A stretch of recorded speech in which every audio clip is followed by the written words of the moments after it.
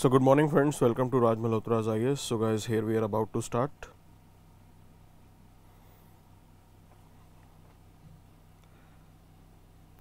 so the P D F for today session has already been uploaded we will be starting this session in another one minute तो P D F already uploaded है और हम लोग जो है इस session को शुरू करने वाले हैं। So sufficient number of people they have already joined us okay let me just share the link with the students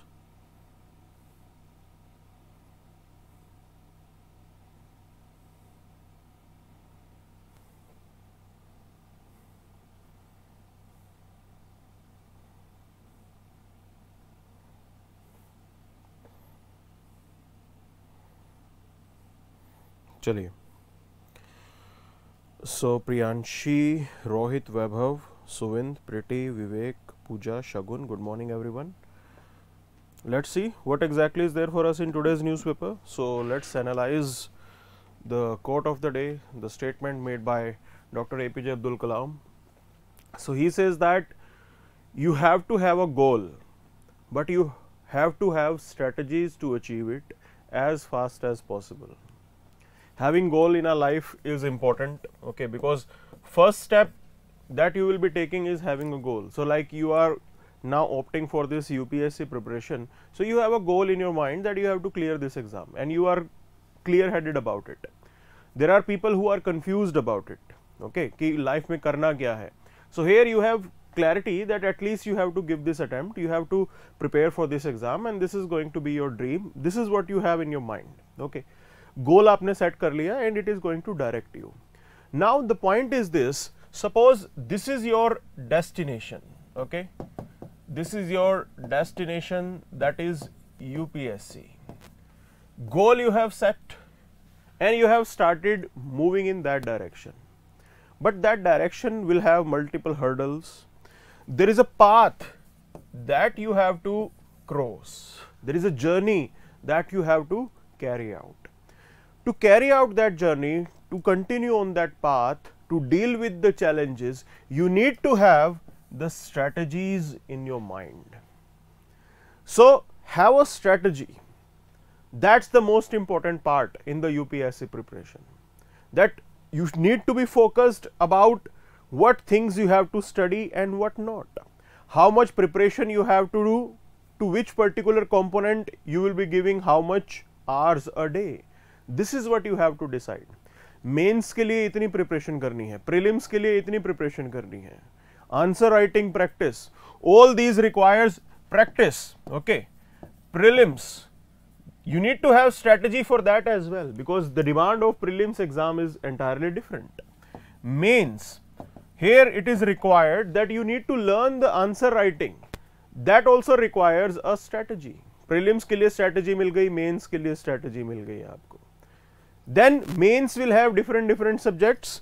So, for your optional you need to have different strategy to attempt your essay paper you need to have different strategy to attempt your GS paper 4 you need to have different strategy. So, you need to be having these things in your mind ये clarity आपको अपने पास रखनी है This is what you need to understand here. यहाँ पे धूल में लाठियाँ नहीं चलती हैं okay UPSC preparation is entirely a different thing because at the end of the day after getting into service you will be preparing strategies only जब आप officer बन जाओगे you will be planning things so that planning part that strategy development part needs to be visible while in your preparation as well आपके preparation में भी वो चीज़ नज़र आनी चाहिए। So this is what doctor APJ Abdul Kalam is saying that, okay, goal is fine, have a goal it will give you direction and along with that strategies are also important because these strategies will stop the wastage of your energy आपका resource और आपके energy दोनों ही waste होने से यहाँ बचेंगी so this is the important thing that we need to have okay so strategies बनाइए and my strategy may not work for you your strategy may not work for me each one of us have to analyze what are the potentials that we are having, what are the strong areas that we have, what are the gray areas that we have and accordingly strategize it. strategize your preparation that's the mantra here okay so आगे बढ़ते हैं अब हम देखते हैं और क्या है हमारे पास okay so that was the first thing that we have to learn now we'll move to the analysis analysis part पे चलते हैं सीधा so October GST revenue crosses 1.51 lakh crore okay तो रेवेन्यू काफ़ी अच्छा खासा कलेक्ट हुआ है 1.51 lakh crore now the point is this what's the reason behind it okay we are saying that 1.5 lakh crore is the revenue that government has collected now if you look into the potential reasons one is that this was the festive time in India people they go for buying multiple things during this particular festive time Other point is this, you have to understand the nature of Indian economy. Into the global environment अगर आप global environment की बात करेंगे global economic environment की बात करेंगे okay now global economic environment might not be that great we know that we are struggling there is a slow down that is going on okay slow down हो रहा है. So down is going on it means that export potential will be less आपका export potential कहीं ना कहीं नज़र नहीं आएगा. It will be not that effective okay exports के लिए डिमांड ही नहीं होगी तो क्या बना के भेजोगे? Other point other nature of Indian economy is that Indian economy is consumption based economy and no matter how things are done okay in the international sphere, still we will be able to survive. Now, why I am saying this, if you remember during the 2008 subprime crisis, okay, at that time as well the, there was a global recession, we were able to survive that as well. This is the point here. Okay. So, at present as well because we have a consumption based economy, the demand is there from the Indian market only और आप product भी ज़्यादातर वही बनाते हो जहाँ पे जो इंडियन मार्केट के लिए है। That's the point here okay if you compare Indian economy and say Chinese economy now Chinese economy is majorly export based economy they are exporting a lot but right now they are putting their cities under lockdown so supply chain has been disrupted तो China की तो वो हालत चल रही है। At the same time we are relatively better off okay we are relatively better off and this is the reason that even the world bank is saying this that India is one such island in this particular region which has the potential to contribute to the global economy. हम survive कर रहे हैं and we are still registering the growth rate of 7 percent. इतने बुरे हालात में 7 percent का growth rate. Inflation is still high. If you compare the inflation that is there in India and in other parts of the world, we are somewhere 7.41 percent. और ये तो अभी सबसे हाईएस्ट है। इससे पहले it was 6.83 percent okay this particular 7.41 it was the September data in August it was 6.8 something relatively it is still manageable if you look into the inflation that is in the European countries it is in double digit अभी UK की हालत देखो क्या चल रही है। Ten से ऊपर इन्फ्लेशन चल रहा है वहाँ पर so we are relatively better off the other point is this What's the reason? What's the reason why we are relatively better off? Now you have to remember the time when there was COVID. COVID aa gaya. Different countries they had a different approach to deal with the COVID, the impact of COVID on the economy. Sub countries की अलग अलग approach थी. Those Western countries they gave money in the hands of people. लोगों के हाथों में पैसे दिए उन्होंने okay so that demand should pick up कि डिमांड पिकअप हो जाएगी। No there was more circulation of money in the economy आपकी इकोनॉमी में ज़्यादा पैसा चला गया। Okay okay? डायरेक्टली लोगों के हाथों में दे रहे हो आप। Contrary to that we didn't go for the same particular path Indian economist the government of India we were rational with the approach and the Atmanirbhar package that we had that was to assist the industry वो primarily हमने industry को support करने के लिए किया था।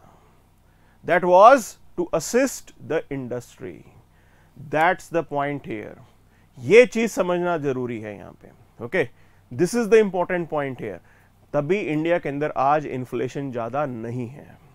क्योंकि economy में मनी सप्लाई उतनी ज़्यादा पंप ही नहीं की आपने। आपने इंडस्ट्रीज़ की हेल्प की so that they can sustain and you facilitated the loan arrangement free में किसी को पैसा नहीं दिया. It was a it was given in the form of loan that was the point here so we did it in a better way. We managed the COVID situation way better than these western countries. And here we are relatively better off than those. ये चीज़ समझना ज़रूरी है. There we were quite right about the system okay so let's move to the next part आगे चलते हैं. So here we have the other news on the front page itself okay which is talking about remote vote facility for NRIs government is telling this to Supreme Court. Now they are debating this should we allow NRIs to vote because right now they are allowed to vote but they can only vote after coming to their constituency. Okay. जिस जगह वो registered voter हैं वहीं पे आके vote डाल सकते हैं इंडिया में आके डालना पड़ेगा that's the arrangement Now, the point is this, the point is this, okay. What is the issue with this? Because right now we have to understand Modi ji is carrying out campaigning in outside countries as well, okay. Howdy Mowdy, I hope you remember, he went to West Asia, Arab nations, there also he addressed the Indian population, okay. So, the point is this, people who are abroad, they are significant vote bank they can seriously influence the result of an election किसी भी election का result जो है, वो लोग influence कर सकते हैं. They are having that potential and number of N R Is in India means outside India the number is more than one crore more than one crore people are living abroad ना one crore voters it's a significant number so that's the right step that government is thinking to provide them the voting rights that there will be multiple arrangements that government may be exploring. Okay. One is that they are saying that proxy voting कि proxy voting का provision लेके आएंगे okay now for people who are abroad they are facilitating something like that the major issue will be what about the immigrants that we have within india there are lot of migrants within india who are traveling from one state to other there are a lot of people who are moving out of Bihar, UP and they are working in some other place. What about their voting rights? आप NRIs को तो facilitate कर रहे हो आप अपनी local population को facilitate क्यों नहीं कर रहे that a resident and elected you can say a registered voter from UP should also be given this right of proxy voting. लोग इंडिया में भी तो इधर उधर मूव कर रहे हैं there are lot of people people who are you can say working in Bengaluru who are working in NCR region who are working in Mumbai what about their voting rights so it means that you are treating indians in a different way you are facilitating nris but not the domestic population that's the problem here this is what also needs to be debated so right now this debate is on and government is thinking to facilitate the proxy votes okay because there are a lot of Indians who are living in different parts of the world and like they are a decisive force in the elector po electoral politics of India. Now, the point is this government has already stated this to the court that government tried to introduce a bill to amend representation of people act, but by that time Lok Sabha was dissolved and that particular bill lapsed. तो Lok Sabha dissolve हो गई और वो bill lapse हो गया। So it means that government was already planning something like that and they may come up with something like this again आने वाले time में दोबारा इस टाइप की कोई चीज़ आ सकती है। Okay that was the point so Shruti Mandal is having this doubt she is saying uh, sir please answer me. Only honor students can get upsc exam or pass course or general courses students can also give. The requirement for UPSC aspirant is a graduate. Even if you are in third year of your course, you are allowed to give this exam. You can sit in this exam. Okay? तो आप इस exam को definitely दे सकते हो. So let's move to the editorial section. Now here this editorial is pointing towards the realities that are there.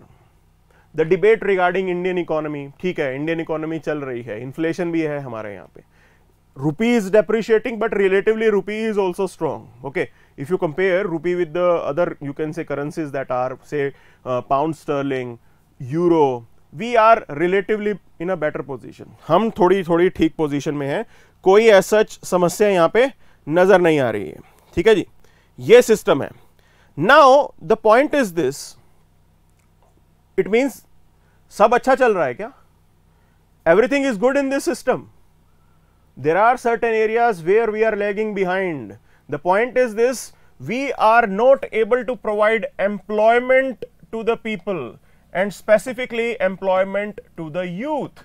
That's an eye opener for us. Modi ji says that we have to reap demographic dividend भाई कहीं ना कहीं हमें demographic dividend का फ़ायदा उठाना है demographic dividend means that number of dependents in Indian workforce is less.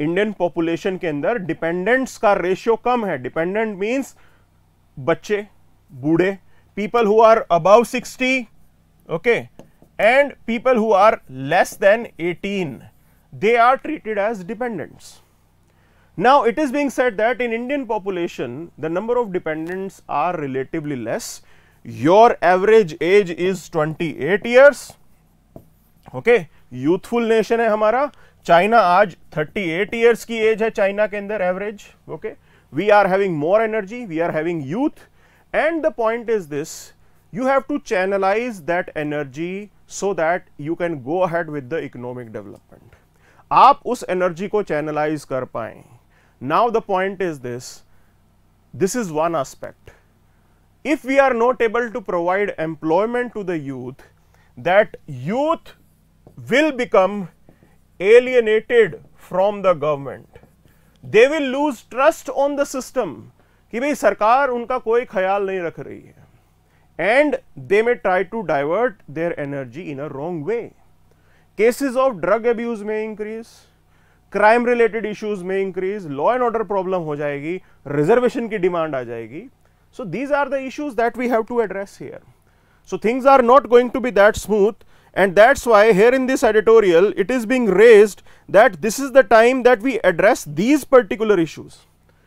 because आपका जो unemployment rate है वो increase हो रहा है and we have to be you can say concerned about it. So, here there are few things that are been told let's say that okay fine your inflation is at 7.41 percent it is high but relatively it is manageable बाकियों के हिसाब से थोड़ा manageable है Indian currency is losing out against dollar but relatively it is still manageable बाकी currencies के साथ compare करेंगे तो हम ठीक ठाक चल रहे हैं that doesn't mean that everything is right in India because here is the data which says that in October the unemployment rate is quite high that is 7.8 percent that's the worrying concept ये सिर्फ eye opener होना चाहिए आपके लिए if you look into the policy intervention over the last six to seven years we have both good and bad examples and i will say that the crisis is not going on from last 6 to 7 years mera thoda point of view different hai okay i will say that the crisis started way back in 2008 With the global crisis, with the subprime crisis. Now, the impact of this crisis on Indian economy was visible by 2011. अच्छा खासा impact दिख रहा था your government did carry out some policy intervention we tried to improve the situation Pranab Mukherjee was the finance minister at that time and he came up with the fiscal package कि भाई ठीक है कोई दिक्कत नहीं है tax को थोड़ा कम कर देंगे कॉर्पोरेट्स को थोड़ा बेनिफिट दे देंगे we made an effort Now, effort that was made way back in 2011, it started showing result in 2015. तो जो भी steps लिए गए थे उनको थोड़ा it takes two three years to produce results for you and things were visible in 2015. After that, in 2016, Modi ji announced demonetization. 2016 में मोदी जी ने बोला अब से 500 और थाउज़ेंड रुपीज़ के नोट लीगल टेंडर नहीं रहेंगे। That was the speech he gave okay this impacted the Indian economy later on in two thousand GST was introduced now implementation of GST was also faulty your corporate your industry was not prepare for that event आपकी industry उसके लिए भी तैयार नहीं थी। Then came in 2019 where in the late years late months of 2019 say in december corona was just triggering corona आना start हो जाता है and in 2020 corona was at its peak तो यहाँ से कोविड वर्ल्ड की स्टार्ट हो जाती है there was a series of lockdown Indian economy was absolutely shut सब कुछ चल रहा है and we had a negative impact of that as well तो उसका इंपैक्ट भी आपके ऊपर नेगेटिव पड़ा ओके कोविड के से डील कर रहे थे? 21 तक. Then came Ukraine Russia crisis तब आ गया Ukraine Russia crisis it is still going on this is one of the reason which is again shifting the world towards global recession. ये रीजन है कि आज भी हम वापस 2008 की तरफ़ जा रहे हैं। From where the whole thing started. Now, they may be saying that in last 6 to 7 years we carried out policy intervention. I am saying this the problem was pre-existing to 2016 even before that as well things were not right. So, in last 15 years if we observe multiple things have happened in the economy in our lives that is the point here. Things were not that smooth, but still despite these issues today we are registering the 7 percent growth rate. If the global environment is going to be fruitful for us, we may register the double digit growth. हम ज़रूर register करेंगे. That's why the whole world is optimistic about India. There is already a debate going on that as China is slowing down, it may not be able to surpass the US economy China शायद कभी अपने life cycle में US को सरपास ना कर पाए There are reason for that it is growing old US is still drawing talent from the world पूरी दुनिया से टैलेंट यूएस में जाता है कभी चाइना में आपने जाता हुआ सुना है no so US will still survive there are some favourable factors for United States but the world is betting right now on Indian economy that we do have the potential to definitely reach up to that level. That is the point here. Okay. So, here we did carried out some good, good steps. One was bankruptcy code. Okay. So, we facilitated insol insolvency and bankruptcy code where you can say dying firms they can just dismantle their business अपना business time पे ख़त्म कर सके उसको हमने facilitate किया it was a good action. On the other hand, demonetization was the wrong step, it was the mistake. So, we did carried out positives and negative things while you can say going ahead with the policy, but there is one major concern that is still there in Indian economy that concern is related to the political polarization. Social fragmentation is going on, okay? intolerance debate that's really a sad scene here because society which are disturbed society which are having multiple issues investor is not going to invest in that area investor को यह लगेगा any time the riots can start and as the riots will start his money will be lost so you have to create that conducive environment for investment and that also includes having social harmony social harmony रखना भी हमारे लिए ज़रूरी है. This is also critical for investment here so we need to work upon these idea as well इन चीज़ों के ऊपर भी हमें यहाँ पे काम करना है okay so this is what was there in that editorial now will move to the other one So, this editorial is saying that the weakest link in the air pollution fight. Okay.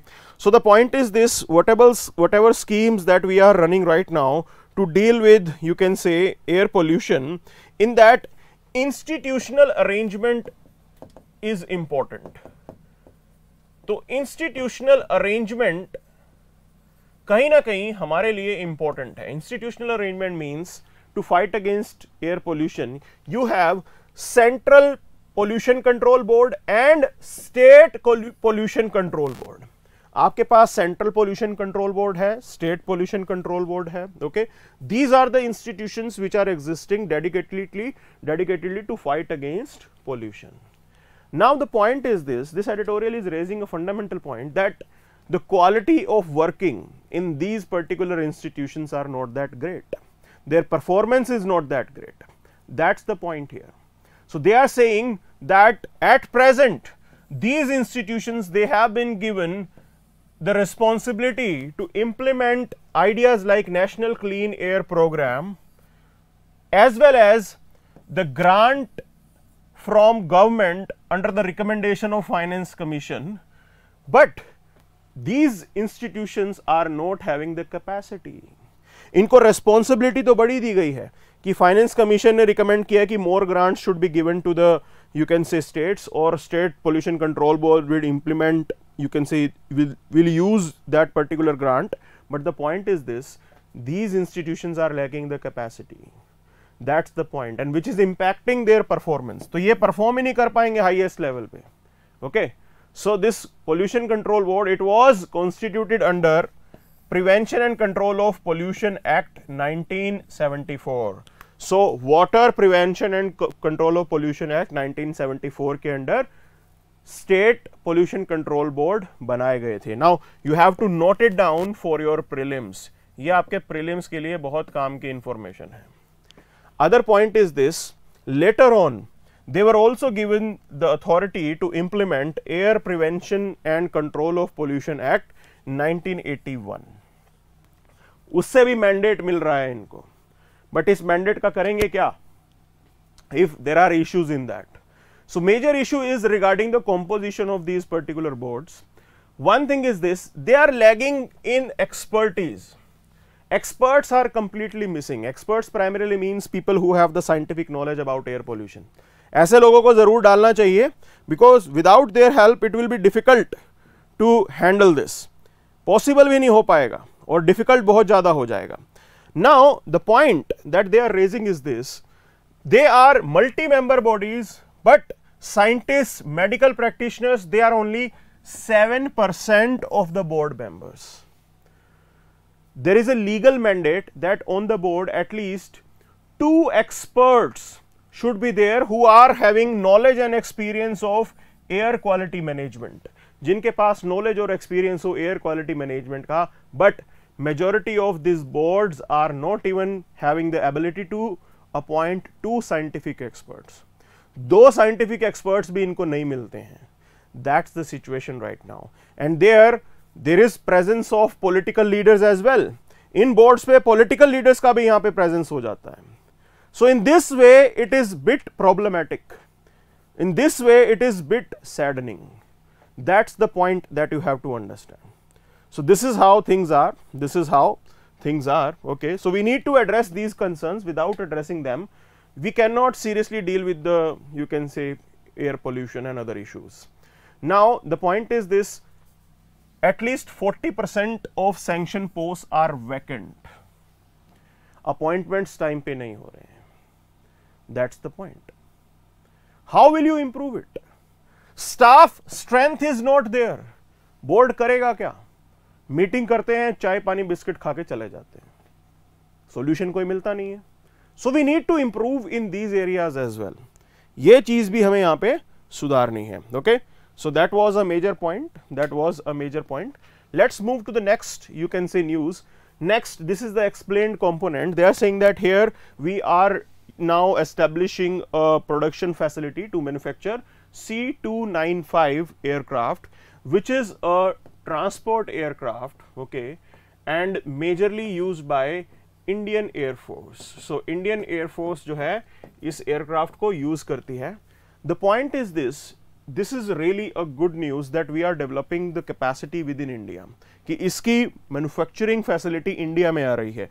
Why I am saying this it's a good thing because if you are bringing in these type of things it's an investment ये बहुत बढ़िया एक investment है। अगर आप इस type की चीज़ लेके आते हो first thing is this technology okay so that technology will be critical for you because this product will be developed in India technology might be there from US लेकिन मैन्युफैक्चरिंग यहाँ होगी तो your engineers will come to learn about this thing they will be learn they will be learning these particular technology so it's a really good thing other than that this aircraft will be having multiple spare parts So there will be development of ancillary industry around it. एक manufacturing unit लगता है तो उसके around छोटे छोटे ancillary units develop हो जाते हैं कोई पेच बनाएगा कोई टायर बनाएगा that type of industry will also develop so it's a really good thing and job creation definitely will be facilitated other point is this this is going to bring huge export potential indian indian civil aviation market is already you can say going ahead with that हम already चीज़ों को manufacture कर रहे हैं तो इसका अच्छा खासा एक्सपोर्ट पोटेंशियल भी है you can export these aircraft to different different countries that's the point so this is how things are to be done okay and modi ji has inaugurated this so it's a good thing we'll move to the next news that is related to pleas against poll freebies should be listed before three judge bench soon First thing is this the earlier judgment that we had regarding the freebies was given in 2013 and at that time it was a two judge bench decision. So, definitely this time if you want to overturn that decision okay so you may you will be having a three judge bench minimum तीन जज तो होने चाहिए यहाँ पे okay? so, उससे बड़ा bench बनेगा तो ये थ्री जज बेंच के पास ये केस जाने वाला है now the debate is regarding what is rational freebies and what are irrational freebies so the basic point is this court has raised concern about the irrational freebies that we have in this country. Irrationality कैसे होती है Political parties will go ahead with the poll promises. Okay, और वो promise क्या करेंगे हम आपको TV देंगे हम आपको प्रेशर कुकर देंगे court is raising a fundamental point here court is saying that you are going ahead with those promises but your economic resource is limited आपके पास इकोनॉमिक रिसोर्स तो लिमिटेड रहने वाला है ना? Okay now the point is this suppose you have you are going to spend thousand crore for distribution of television television distribution पे हज़ार करोड़ आप खर्च कर रहे हो. The point is this the point is this the same thousand crore can be utilised for health sector as well you can really improve the hospitals in a tremendous way.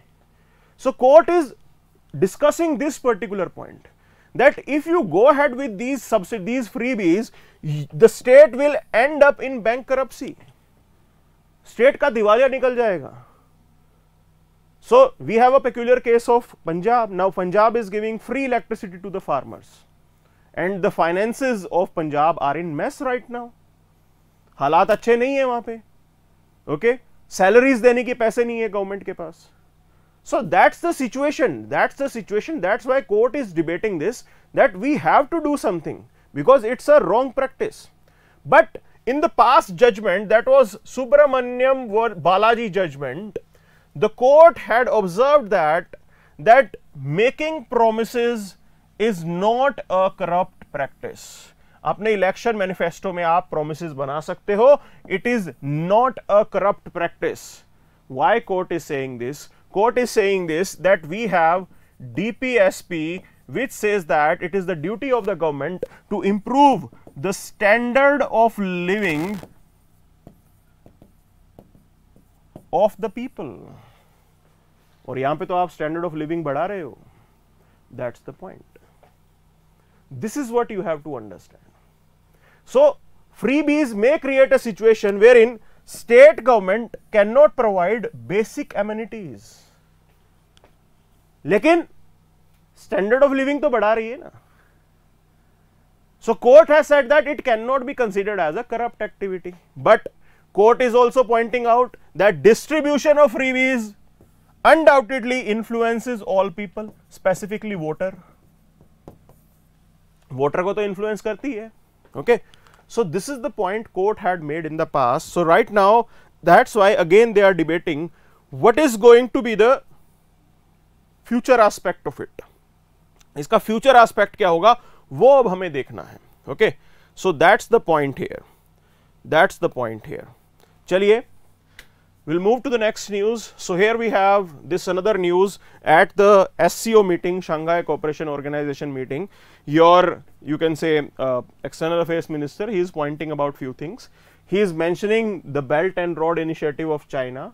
he is saying that belt and road initiative of china is violating sovereignty and integrity of india okay तो ये belt and road initiative sovereignty and integrity को कैसे violet करता है so you should be knowing this okay so here this is the you can say map of Kashmir that we have here.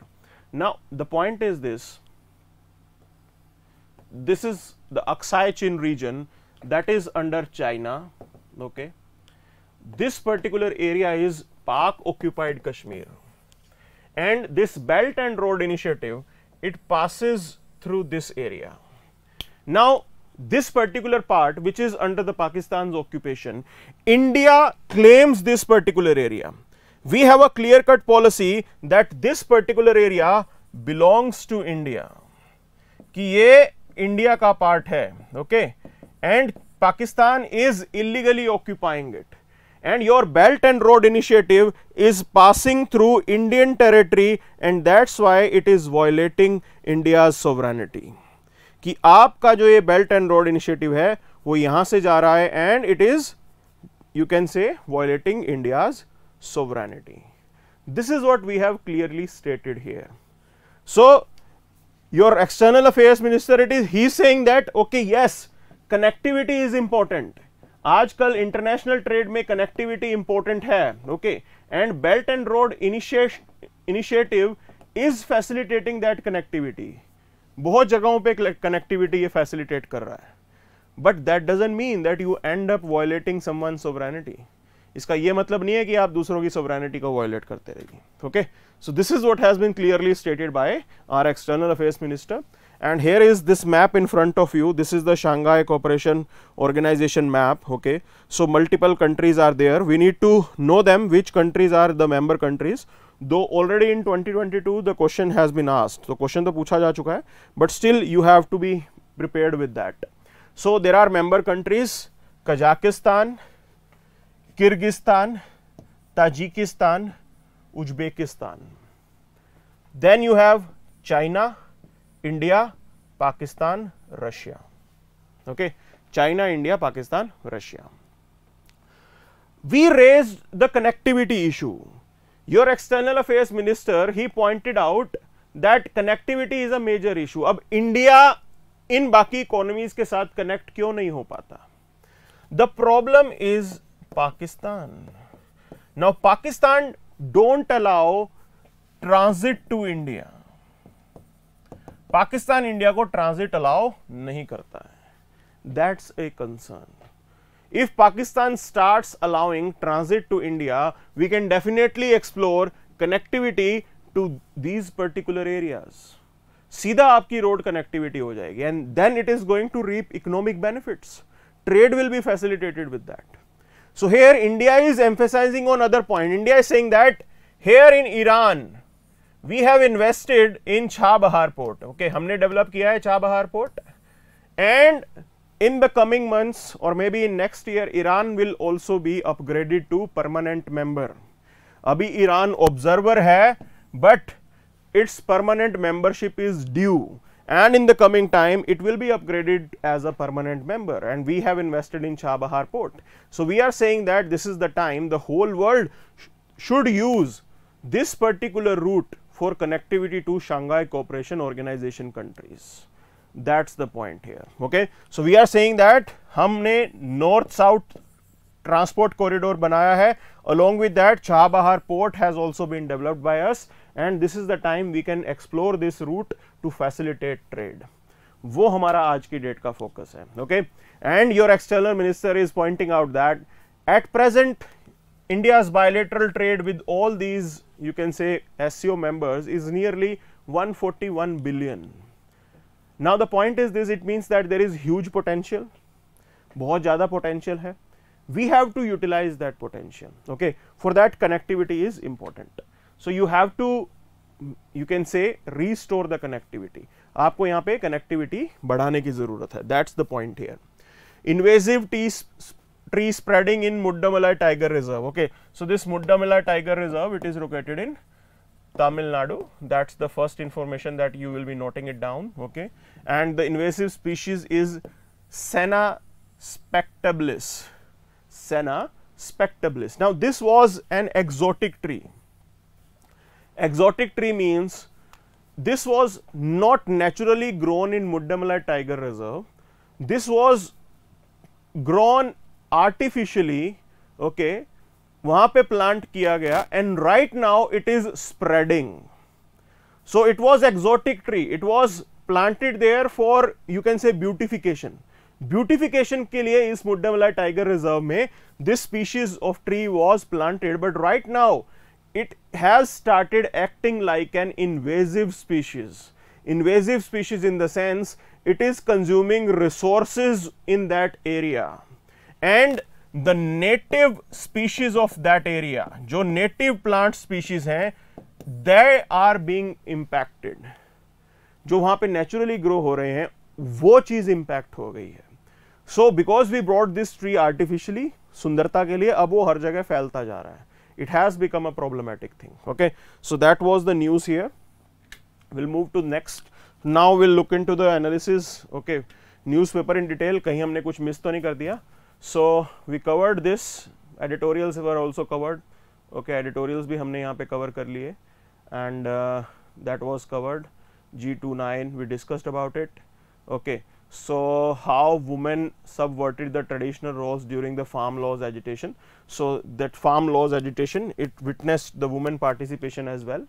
So ye ek major you can say outcome tha uska which was a positive that it shows that women are also now fighting for their rights they are there in that struggle okay it's a really good thing they are participating in the democratic process of the country सिर्फ election में vote देना democratic process नहीं होती है fighting for your rights peaceful protests and all all these activities are also part of a democratic system okay so here women is participating in that so it's a really good development it's a really positive development other than that there is nothing much so here for militant skilled okay so you have to be very uh, you can say vigilant about these issues so law and order needs to be you can say managed with quite dexterity so investment भी लेके आना है कश्मीर में and for that you have to eliminate the terrorism there okay otherwise investment will not come so we already discussed this so SCO meet we discussed okay अब आगे इसके अंदर yes uh, CA is an internal matter of India now this was a major issue major issue in the sense your politician they made some statement that we will throw these Bangladeshis out this and that and at that time Bangladeshi politicians they were not happy with these statements so, right now they are saying that Citizenship Amendment Act is India's internal matter, okay. This is not our concern. So, they are quite clear about it because multiple times we say that we are going to you can say ask those people to go to Bangladesh और वो Bangladesh government की permission के बिना तो होगा नहीं ठीक है ना so, practically it might not be possible okay practically shayad possible na ho. So, here we have this news this is the international page and uh, Kremlin accuses UK of directing Nord Stream blast okay. So, here like I will not relate to this particular news there was another news that was being floated in the you can say in multiple western channels news channels. So, they were saying they were saying about one thing, कि भाई there was one British plane, it was a spy plane, okay, it was there in the British territory only वो British territory में ही था one missile was fired on that particular plane not in not primarily in the british territory basically it was in nato territory nato की territory में था but there was one russian missile that was fired at that That missile somehow deliberately missed it or it was a you can say pre-planned thing that they will not be targeting that plane और missile साथ में से निकल जाएगी ऐसा कुछ था warning के लिए भी हो सकता है it was an eye opener for the NATO countries and it showed that the level of this particular conflict is really on a bad on a rough you can say spot right now situation अच्छी नहीं है। Suppose if that missile would have targeted that plane okay it would have meant that NATO plane has been targeted there would have been retaliation by the NATO forces this would have further escalated the war ये situation चल रही है वहाँ पे। So this is how there is lack of trust between two parties and when they are not trusting each other it is very difficult to find a solution कैसे हम इस war को रोके? That's why this war is still prolonging because both sides are indulging in these type of activities एक responsible नहीं है, दोनों ही कहीं ना कहीं रिस्पॉन्सिबल है. That's the point here okay so here is another you can see news in front of you that factory output growth it has ease out relatively things are moving in a right direction okay growth orders growth picked up we can understand that demand is still less but relatively growth order थोड़े ज़्यादा आ रहे हैं तो ये एक अच्छी चीज़ है okay that was a good development so this is what we had in this particular session so that's it for the day then thank you very much